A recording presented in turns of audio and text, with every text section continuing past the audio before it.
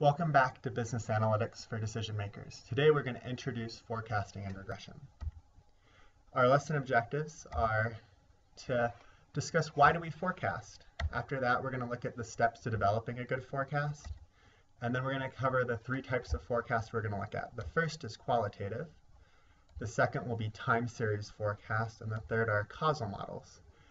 Um, the second and third, time series and causal, are quantitative forecasts, and so they rely on a lot more numbers than the qualitative forecast. And then finally, we're going to cover the qualitative forecasting models, some of the major ones that are out there. So why forecast? Well, it's often useful to know the future. That's essentially what a forecast is.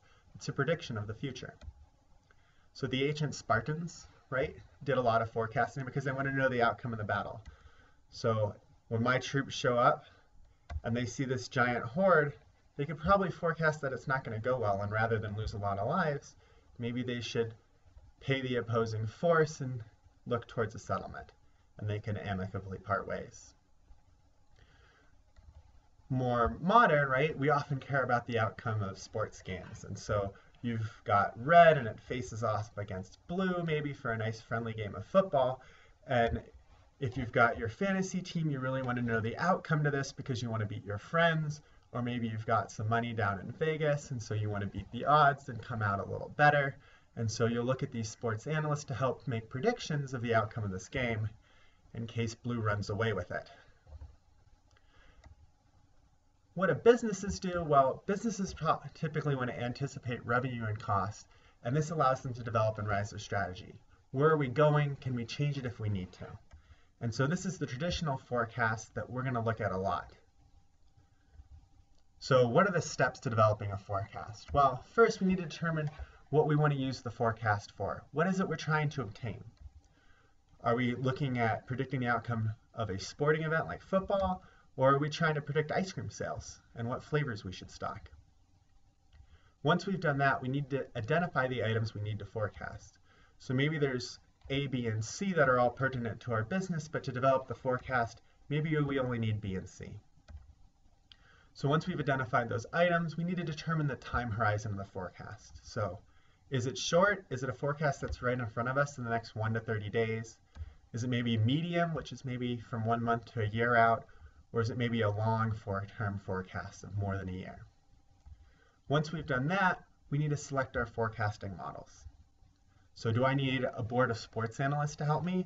Or do I need a trusty computer to develop an analytic quantitative model? After I've done that, what type of model I want to build, I need to gather the data I need to make the forecast. So if I identified I need B and C, I need to go get that data that comes from B and C. Once I've done that, I want to validate my forecasting model. So I can use my model to predict past events where I actually have the actual, and I can compare my model's forecast. And what I want to see is that the forecast is close to the actual and not really far away. Once I've done that and I validated my model, I can make the forecast and implement the result. I can take action on it. So types of forecast. There's qualitative, and qualitative is when we incorporate judgment or subjective factors into the forecasting model, and that's our sports analyst boards. They're able to incorporate the moods, the value of the game, and a whole bunch of non-quantitative aspects in making that forecast. A time series is when we predict the future using historical data. So the data is arranged January, February, March, April, right? It's in a sequential time sequence. And then we can use that to extrapolate, hey, what the future is going to look like. So moving average, exponential smoothing, and linear trend analysis are all things we're going to look at in time series in the coming lessons. After time series, we're going to look at causal models. And for causal models, right? We estimate relationships between variables or factors that influence the forecasted value. So this is regression analysis.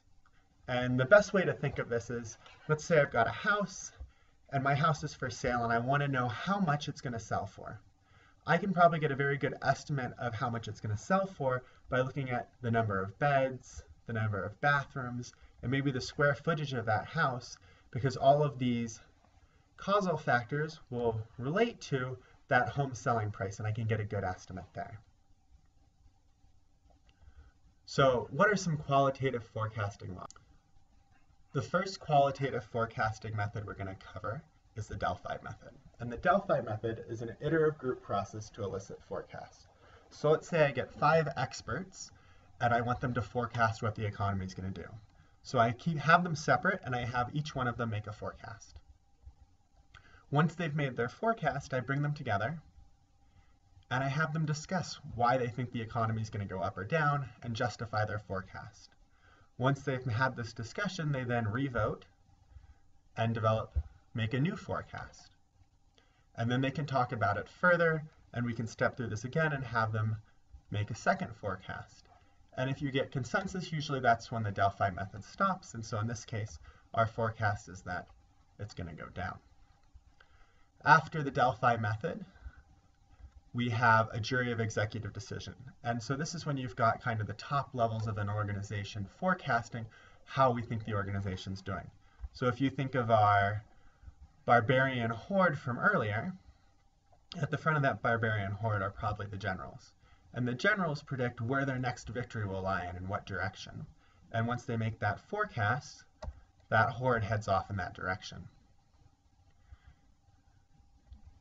So Sales Force Composite is another qualitative forecasting method that's quite common. And this is when you have area forecasts and we combine them to generate a broader forecast. So imagine if you've got an organization and it's spread across the United States and it's divided into West, Midwest, Northwest, East, Southwest, and Southeast. And what you have is you have these regional managers predict the next quarter's sales and what's going to happen so you can develop your inventory. And so you're going to get reports back from all the different regions of the United States, and you combine them to make your overall forecast, which looks like sales are going to stay pretty stable. The final, final qualitative forecasting model, which you should be aware of, is consumer market surveys. And in this case, you just survey your customers or potential customers about what they're likely to want in the coming period. So I run an ice cream truck, for example, and I have my potential customers, and I can literally just ask them, hey, what type of ice cream are you likely to buy tomorrow so I stock my truck appropriately. And so if I get chocolate, vanilla, strawberry, chocolate and vanilla, strawberry, I know how to stock my truck for the next day. And hopefully that should give me a good forecast of what will actually be demanded. So, lesson recap. Why do we forecast? Well, it's often useful to know the future. Then we covered the steps to developing a forecast. And then we covered types of forecasts, both qualitative, time series, and causal.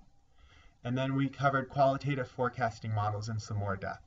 And we looked at the Delphi method, jury of executive decision, Sales Force composite, and consumer market surveys. So that concludes this lesson. I look forward to seeing you next time.